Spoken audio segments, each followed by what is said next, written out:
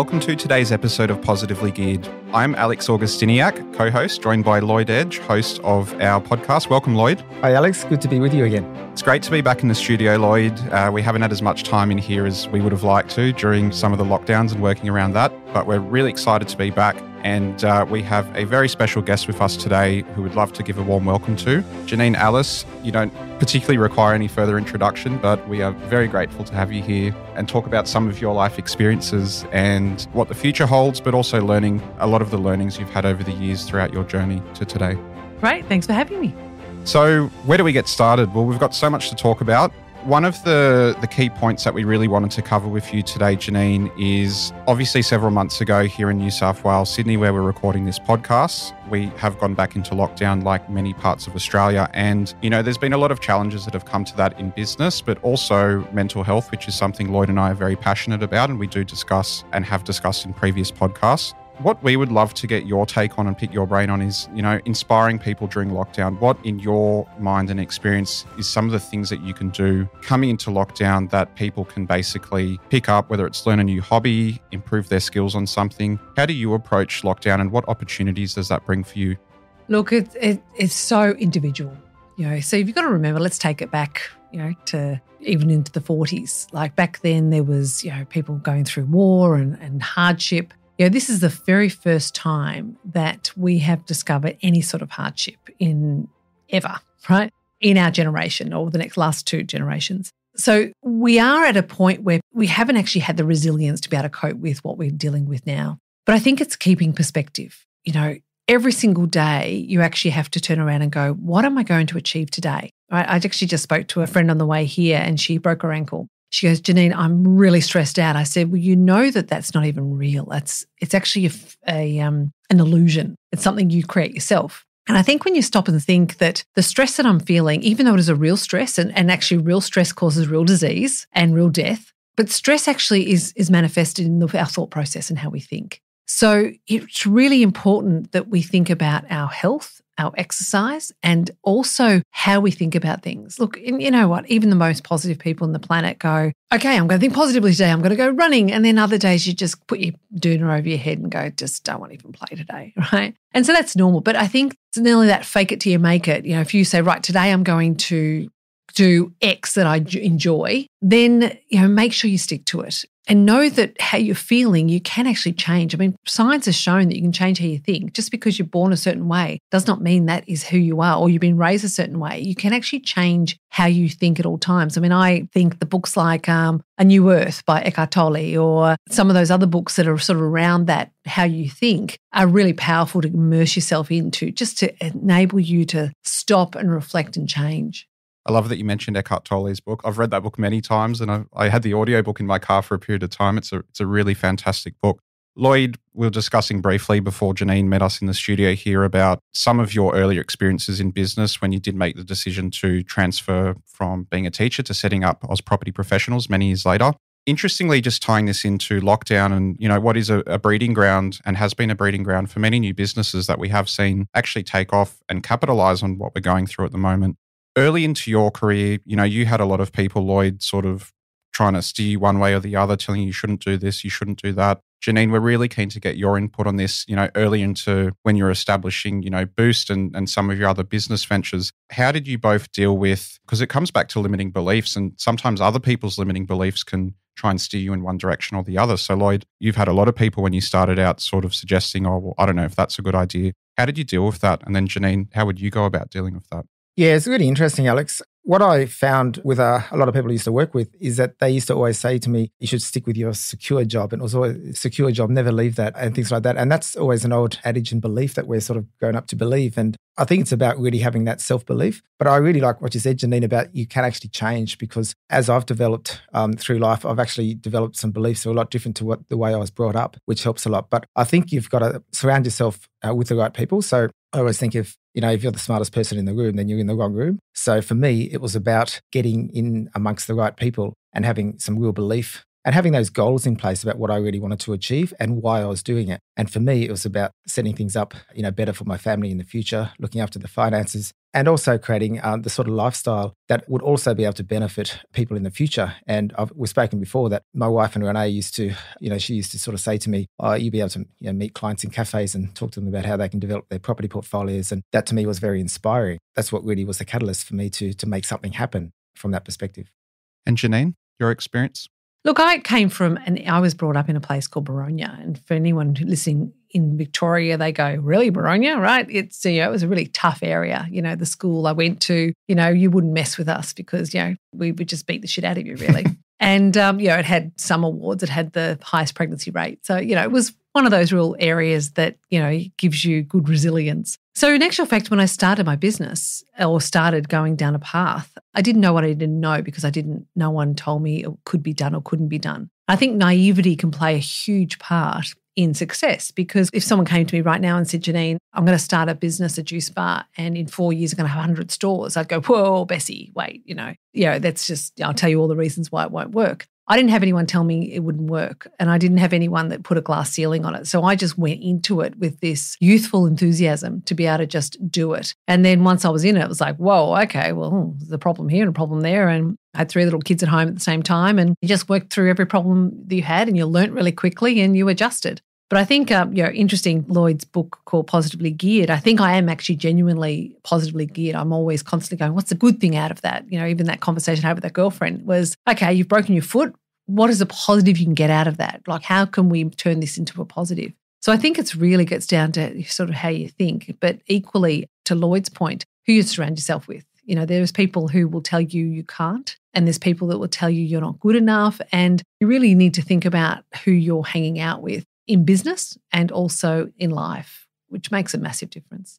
And Janine, reflecting back on what we, we might call new business energy or, or, naivety was a term that you mentioned. You know, obviously that was great in the sense that you could have a red hot go and you weren't necessarily worrying about, you know, 20 people in the background pulling you in 20 different directions. Was there a stage now or later in your career? Because, you know, something that we really love about all the guests we have on the podcast is and ourselves, you know, we love the vulnerability and getting inside every business mind because, you know, self doubt is something that I think we all experience at stages of our career in life. Is that something that you've had challenges dealing with or past experience with more recently or uh, earlier in the career? I think you always have self doubt about different things. I mean, you're not human unless you have the gamut of emotions. I equally sometimes think I'm Superwoman, and other times I think like you know, if I'm a you know very poor surfer, sometimes I go out and I go, oh my god, I can do it. And other days I go, oh shit, actually, really, I can't. and equally with business, you know, sometimes I'll go into a meeting and I might say some really dumb stuff, and I go, oh god, Janine, come on, maybe I'm not that Da, da, da. And other times you go in and go, actually, I'm, I'm in my space and I'm in my zone and I can do it. I actually think um, there's this guy called Paul Taylor who told me this story about how to manage that when I was going on Survivor. And he said that there's actually two people that's with you all the time, or multiple people. We spoke about how how we think about you know, all these people are in our head. I have two people. One's called Debbie Downer, and she's the one that tells me, you know, don't go in the water, don't do yoga, you're not good enough, da da da. And then there's this other woman called Agora, and she is a warrior, right? She can. There's nothing she can't do. And sometimes I deliberately focus on, like, particularly I was in Survivor or I'm going into a big meeting, I'll go, Agora, can't I need, I need, I need a bit more of you today. Get rid of Debbie Downer. And I think that consciously, if you sort of go, right, let's move into the into the right space, immediately your shoulders go back. Immediately you're standing a bit taller. Immediately you're ready for war. You know, so I think that it's important to set yourself mentally up for any challenges that are coming. I think that's really good, Janine. Love to listen to that. I think the naivety thing is really important because, Alex, like when I started my business, I didn't know anything about business. Even when I left teaching and went into business, I knew nothing about structures. And I just thought, yeah, I could just go and do this. And then I just learnt on the way. And then obviously I started having to get, you know, lots of it. I, I knew about property, but then I had to get sort of advice on structures uh, from my accountants and solicitors regarding business and setting things up. But I think in the first place, I just, you know, fully backed myself because I thought, well, you know, what can go wrong because you don't know what you don't know. And then you get into it and you just think, okay, well, there's a lot of things I've got to learn here, but I'm already in deep water, so let's let's run with it. Mm. It's very true. And, you know, we've touched on it in, in previous podcasts, that journey. And, you know, it's really interesting, Janine, to hear your take too. And it very much is a mental battle in many respects. I think, you know, trying to get the best out of yourself every day, there's going to be days where you do wake up and it's a bit like going for that run first thing in the morning. It's easy to do, it's easy not to do. And just training yourself to get a bit more mentally resilient can help in the longer run. Lloyd, I want to talk about the dream team, which you know you reference in your book, Positively Geared. Mm. Every single person, in essence, has a dream team. in a property centric sense, it's, you know, it's the solicitor, it's the broker, it's, you know, the building and pest reporter. It's having everyone in your gambit that you can refer to for a specific niche task when you're going through that process. Janine, in your career and from setting up Boost, when that business does start to get into, I guess, a massive state of flow, and, you know, as you mentioned before, you're going from setting up one or two shops to being faced with 100, 200, constantly scaling. How important was a dream team to you? Is that a term that you've sort of implemented or you're familiar with in the sense of having the right people behind you? I don't. We don't use it as the term dream team, but you do need, we think, probably four or five lieutenants, really strong people around you that are completely different in personality and really strong in their field of expertise. The key thing, though, that all of them have to have in common is the same sort of ethics or same sort of work ethics or the ability to be comfortable in enough in their skin enough to appreciate the talents of others. So, for example, you know, often an accountant, if they're very, very strong on the analytical side, don't appreciate the benefits of a creative. Equally, a creative doesn't understand the benefits of analytical, right? Particularly if they're extremes. So, you still need, even though you have this so called dream team that of all these great people that are amazing, you still need them to have that self awareness to know what they don't know. And I think that's probably where you get the greatest people is one to go, oh my God, I really appreciate you, Christian, for your creativity. I could never do that. So let's work together because I can certainly help you in the mechanics of how to make your idea the best it can be. So that's actually probably the best team you can get, not necessarily the best accountant or the best creative. So, Janine, how did you go about finding the right people? Because you know what you're saying is, makes perfect sense, but finding the right people who can actually work together as part of the team can often be a big challenge for a lot of people, me included. So, how did you find the right people? I think at the end of the day, you hire slow and fire fast. You never always get. I mean, I sometimes get a great team and go, "Oh my god, I'm awesome at it," and then other times I go, "Oh my god, I'm just really shit at this. I just can't find the right people." And some people through um, interviews do a really good job, and they sort of hoodwink you, right? I find though that there's two types of people out there. And they're the ones that I call the verbs and the ones that I believe that choose to soar. And I'll explain what those two mean. But basically, when I interview people, I try and find out if they are a verb or they're a soar. Now, a verb to me is someone who's a victim. They're entitled. You know, I've been in the job 10 years, I'm entitled to a pay rise. They need to be rescued. They never stop to think about the solutions. They just immediately go to people for the answers and they blame the world for their woes. You know, look at our politicians. That's a lot of verbs in that space. Equally, the people who soar, right? So when I'm interviewing people, I ask questions to try and find out if they're solutions orientated, right? Because things go wrong. That's okay. What's the solution? They take ownership of what they do. So it's my fault. I wear it. You know, it's like when you play sport, and you drop the ball, right? You got to try 10 times harder to get the next ball. They're accountable for everything they do and they're responsible. So I look for people who try and fit that mold. And if they are solution based and not verb based, then you find they're already inclined to have that open mind to be able to go, right, okay, I appreciate the creative or I appreciate the analytical because they're always going, if there's a better way, I will find it. I really like the thought process of being solutions oriented, Janine. I mean, as you as you rightfully said, I think in any line of work or any industry, and even outside, whether it's building a property portfolio or not, particularly early into those stages where you're, you're feeling out a lot of what you're doing, even if you do have the right support behind you, things do go wrong. And it's really important that people can own that and obviously work on, okay, well, what's the solution? How do we resolve this? Instead of going back into their shell like a tortoise and sort of retreating from the world and, and blaming everyone else for their situation. I'd love to talk about your experiences on Shark Tank and Survivor. What was that like for the first time? Was it daunting? I mean, obviously you're very comfortable in the media eye, I would imagine, if it's safe to assume. You know, you, you spend a lot of time on telly, you're very passionate about entrepreneurship and business was there something that you took away from those experiences for the first time and, and, and later on? I think every experience you have, whether it's TV, non TV, you'd have takeaways for everything. You know, whether you go to a seminar or a health retreat. You know, Shark Tank was fascinating because it really got me to be exposed to many industries that I'd never normally be involved with. You know, we came people coming up with all sorts of ideas and gadgets and gizmos. And so it was quite a eye opener to see what other businesses and industries are out there. So that was fascinating.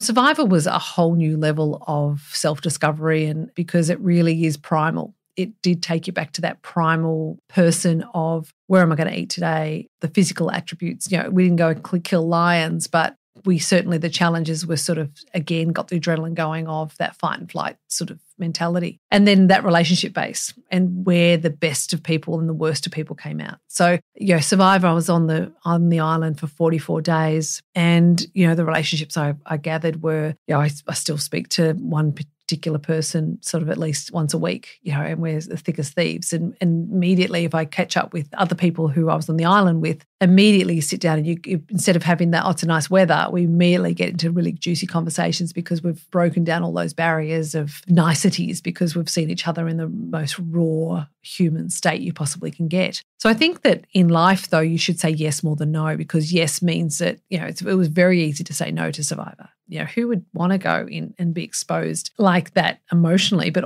equally have it at, broadcast on national TV? And you know, it is, um, it is. You are as raw as you possibly can get. But I'm a believer that this is a life that I want to live, and I want to live as as full as I can. So I will say yes before I say no it does take a lot of courage and tenacity to put yourself out there and you know on a show like survivor particularly you know when you've already got a public profile. But i think that you know going through that sort of breakdown to that breakthrough and building those relationships with people on the show that you've shared a very unique experience with is, is fantastic. And it's great that you can you know jump straight into real personal style conversation as opposed to pleasantries exchange as you mentioned. If we can move to family life, Lloyd, I know that your family's been a real big driver behind everything you do. Janine, you, you mentioned that your husband, Jeff, is the most influential person in your life. Where does family fit into the equation today and in the past in terms of amongst entrepreneurship, business, and everything else?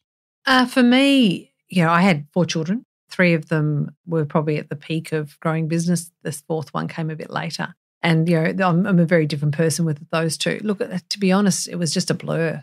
You know, I, I was 32 when I started Boost, and I had a seven month old at the, at the time when I started the Boost. So it was crazy busy, and it was literally just a blur. I didn't eat well, I didn't exercise enough, I didn't go out. I just basically worked and did a um, average job of raising my children. You know, I was the parent that people hung out with to feel good about their parenting, you know, because I was the one that always was late for, for class. The kids were always in the wrong uniform. You know, I never knew what notices I had to sign. So it was, it, but you know what? That was that was okay too. I was relatively kind with myself to just go, look, it is what it is. I'm just sort of surviving. And I think a lot of people who'll be listening to this, particularly with lockdown and having to deal with you know, homeschooling, you just do what you can do, right? And I think just be kind to yourself, right? You're not going to get it all right.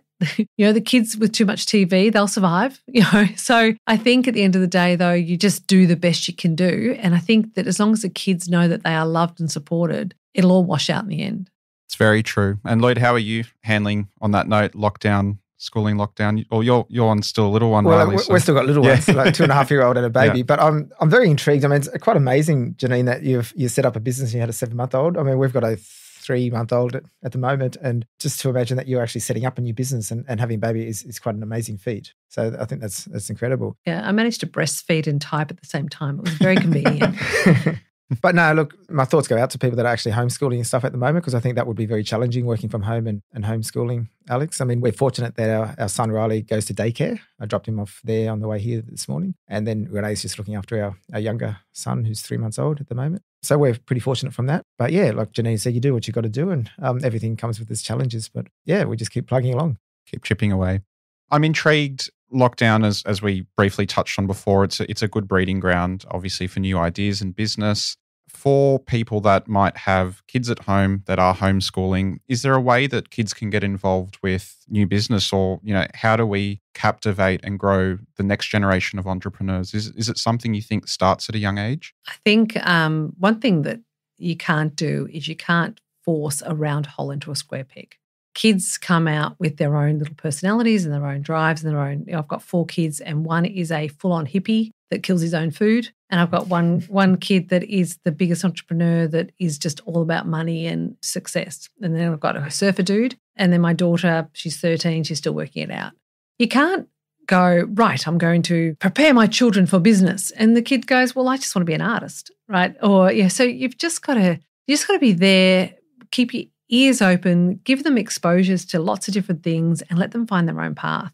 I spoke to this guy years ago about how he he put his son into his business. It was a, a big media business, and he I said, "Is the, your son the best person for the role?" And he said, "Not far from it." I said, Does the son want to do the role? He goes, No, but it's his duty as my son to take on the mantle and continue. Now, this kid, this man was, you know, he was messed up, right? He was doing something he didn't want to do because he had to do it because his dad told him to. And he, as a small child, he was told to do that. When I think he probably just wanted to be a monk on a hill somewhere. So I think with kids having four, is that at the end of the day, just let them breathe and let them, you know, I think you if you've got a business and you're growing your business, great. They might want to get involved, they may not, right? But don't force them. No, it's great advice. And, you know, I think it's really important that we do help people develop their passion. I'm sure if one of your children, you know, loved art, they were creative, and that's the space they want to go to, you know, you would do everything I would imagine humanly possible to help cultivate that interest in the field, wouldn't you? Alex, I was just going to say, like, that's actually a really good example of what Janine was saying because my dad was a business owner Yet I studied music at the conservatorium to start with, and I just followed a passion. And my parents completely just, you know, fostered that passion, and they basically just encouraged me the whole time. And then later on, I turned into business, but that was off my own volition. Had nothing to do with the fact that my dad was a business owner. So it's, it's just about how my life has turned out. But there was no talk about me going into the family business in Orange or anything at the time. So what Janine's saying, I think, is really good advice. Absolutely. And Janine, fast forwarding to today, what do you have in store for the next year besides finding a property on the northern beaches, which we briefly touched on. Yeah, other than that, look, you know, we've made the move from Victoria to New South Wales. So it's really establishing, making sure my daughter's established well into the community. And yeah, as you said, finding our roots. You know, I think that everyone likes to, you know, feel like that they have a solid foundation to be able to springboard from. And so yes, at the moment we're sort of renting, we're looking for the right property. It'll come when it's when it's meant to come. And yes, so it's just really that's probably what our focus is at the moment. And then obviously all the businesses that we sort of get dabble into, making sure they're as successful as we can. It must be quite surreal, you know, moving from Victoria to the beaches. And, you know, if, if you go down to your local mall, see your boosters shop. And eh, how does that feel, you know, getting to this stage of your life and career almost forms part of your ongoing legacy, really, doesn't it?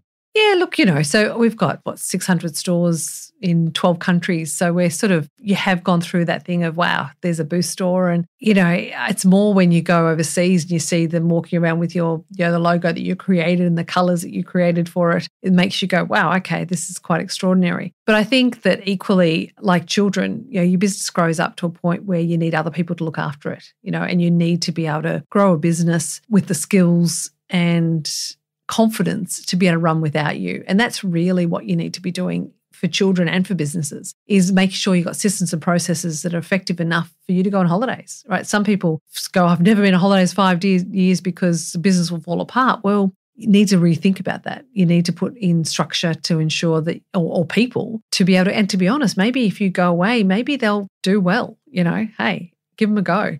It's very true. I mean, how many times, Lloyd, probably like myself, you know, you speak to someone and, you know, they're, they're so busy in the business and they can't leave or otherwise the doors will close. But I think, you know, it's so important we've learned over the years to put everything in your diary as an appointment. If it's going for a run in the morning, you know, make that time to do things that are important to you and also to cultivate that family life, which we just touched on. Well, very important, Alex. And, and that's one of the things I always try to do is, you know, take my dog for a run in the morning. I think my dog gives me a bit more of a motivation to run. But like Janine said, I, I still have those mornings where oh, do I really want to get up and should I just like lay in for a little bit longer and things like that. But like we've talked about before, it's so important to work on your business and not in your business because you know you need to have those systems in place because you know I met a lot of people who said they haven't been able to you know take a day off work for five years because you know they're just busy working in their business but they they need to have those systems in place because eventually you have burnout. And the problem is you'll have burnout and a business that can't function by itself. So you need to put in those managers and, and people that can actually do things like that and when it comes back to you know to family life, I mean, obviously growing a business and running a business is hard work, and it's not you know some people probably some of the, the, social media stuff out there they sort of promote oh you know if you start your own business you can you know, just live the life you want, but it's not quite like that. You know there's a lot of work that goes into to growing your business, but once you get it to a certain point, the whole idea is you should be able to spend more time with your family. You know, you should be able to go on those holidays. Or I know with me at least, you know when my wife was pregnant, you know we can I can go to all her doctor's appointments and things like that and spend time with the kids you know during the week and stuff like that, which I think is really important because that's that's what life's about. It is about family. And it's about setting your lifestyle up so you can do things like that.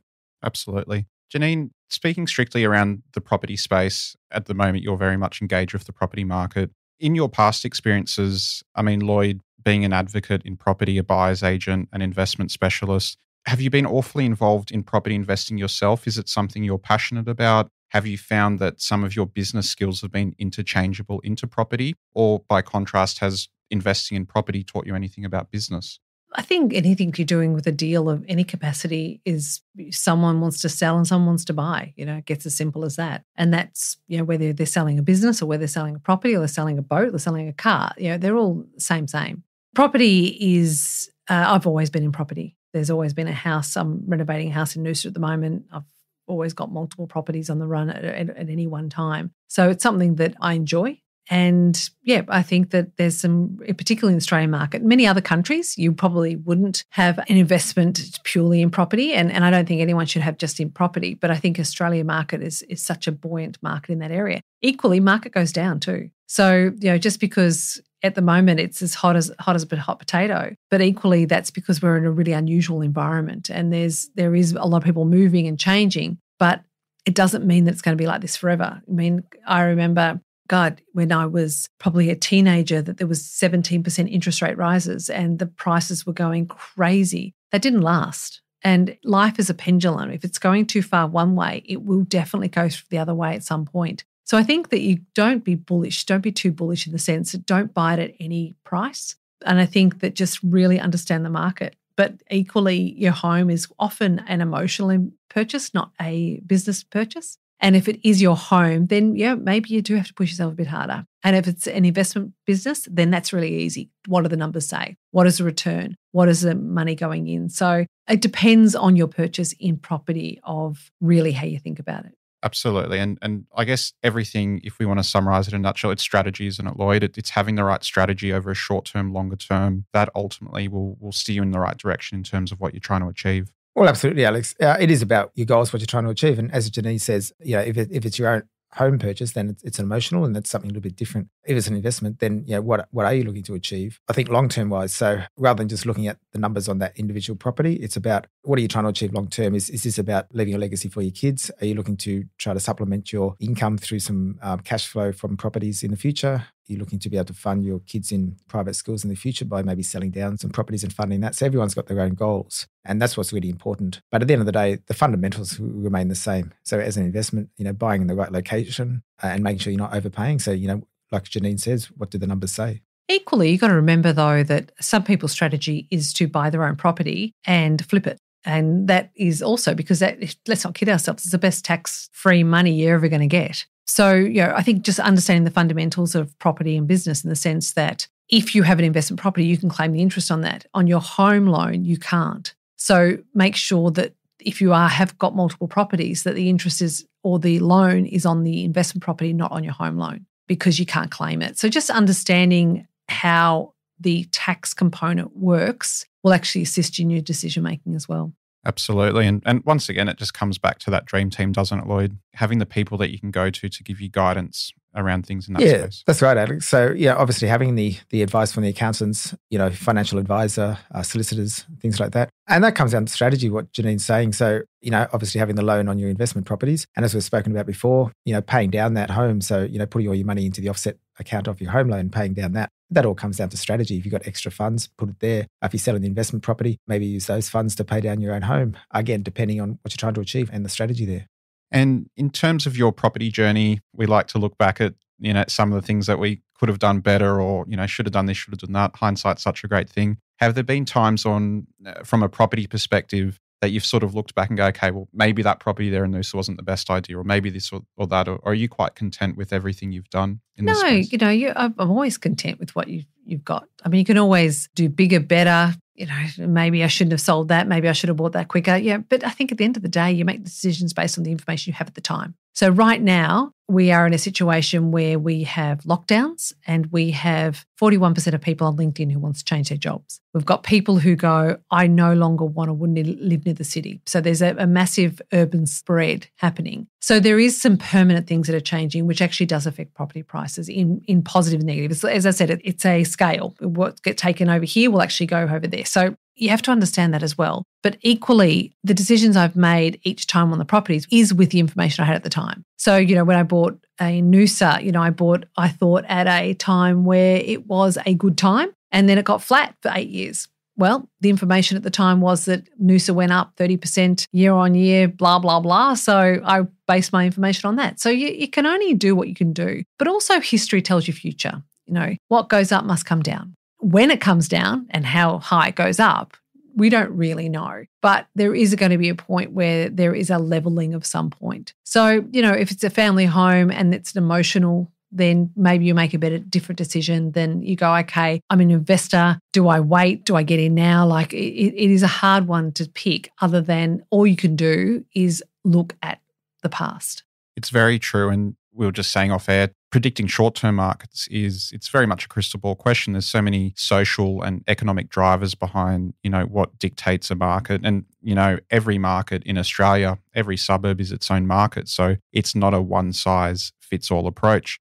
Lloyd i guess a lot of that does come down to strategy once again. In your experience when you are you know working with clients how important is it to really knuckle down on what they're exactly trying to achieve and, and also helping uncover what the client might want to do? Because sometimes it's not always present and top of mind for them, is it? You've got to sort of dig a bit deeper to work out the best path forward. That's right, Alex. A lot of the time, because I, I, always dig deeper to see where, what they want to achieve over the next 10, 15 years. And I always relate that back to sort of what, what I've done and sort of talk about my journey and things. A lot of the time, people might know my journey because they've read Positively Geared. But yeah, look, it really is about what their, their long term goals are. And then a lot of the time, they don't necessarily understand themselves what they're trying to achieve. So, you know, we can t- sort of discuss that. And sometimes people say, oh, I just want to have a property portfolio, but you can't just have a property portfolio for the sake of it. It must serve its purpose. So, are you looking for some passive income? Are you looking to have, leave a legacy for your kids? Uh, you know, there's all sorts of reasons there. But equally, uh, when it comes down to the strategy within the markets, like you said, no one's got a crystal ball. Take last year, for example, lockdowns. You know, as soon as uh, the pandemic hit, the markets all stopped. Yeah, phones stopped ringing. Nobody wanted to do any property transactions or anything because people didn't know what was going to happen. Yeah, all these economists were coming out and predicting 40% falls in the market and stuff like that. That didn't happen. And then this year, things have gone crazy, much more growth than you know, even I expected. And then with the current lockdown, that hasn't really impacted prices at all because people are now comfortable and they know the markets are resilient. So people are still just buying sight unseen. I mean, Brisbane's an example where people are just from the southern states are buying up in Brisbane, not even getting building and pest inspections done. They just there's a lot of FOMO. People just buying, you know, obviously without strategy, they're just they're just buying because they don't want to miss out and things like that. But again, with lockdowns, and, and the lack of stock, you still can't really predict what's going to happen because once these vaccine targets are hit and we start to come out of lockdown, there may be more stock listed. Because I know of vendors that have taken their properties off the markets during lockdown because they didn't want people walking through their, their homes or they thought they'd get a better a sales result after lockdown. So if they start listing towards sort of November, December into next year, that could affect the prices. That could could put downwards pressure on the prices. Depends how many buyers are still in the market. So uh, the prices could still keep increasing. But no one's got a crystal ball to see what really will happen at that stage either. You're very right. And I mean, there's so many moving parts to how markets work. You know, the property dynamic, you know, we talk about high supply, low demand dynamics and vice versa. You know, they're ultimately going to determine each geographical marketplace you're trying to invest in. Janine, it's been really great having you here in the studio today. Thank you very much for your time. Just in closing, some words of wisdom that we can leave with all our listeners today. If Janine Allis could say something to Janine Allis 30 years ago or 20 years ago, what do you think that advice would be? If I saw myself 30 years ago sitting on a park bench, I would sit next to me, put my hand on her back, I'd pat it, say, Good luck, honey. Because the reality is that in your journey of life, you will make the wrong decisions and you'll make the right decisions. But it's actually as much about the decisions that you've made wrong that has made you who you are today than the one you've done right. So if I said, look, here is a list of the dates and times that you get it all wrong, and I avoided them, then I wouldn't have learnt the lessons and I wouldn't be where I am today. So in actual fact, you have to go through your own journey. So I wouldn't give her any advice other than go for it. And I guess in closing, with that in mind, how important is legacy to you and what does leaving a legacy mean to you? It doesn't mean anything to me. Like, it, I don't, if I'm dead, I'm dead. You know, I can't go, I want to leave a legacy. I want to live a good life. I want to do the right thing by people. I want to have my kids happy. If that leads into some sort of legacy, well, that's fine. That's other people's to decide. That's what a legacy is. It's other people's what they think of you. So I don't really care what people think of me. But if I do all the things that I want in life, maybe that might result in a legacy. On behalf of Lloyd and, and myself, Janine, we've really enjoyed your time today. It's been an absolute pleasure. I'm sure you agree, Lloyd. No, thanks so much, Janine. Really appreciate it. Loved having the chat. Pleasure.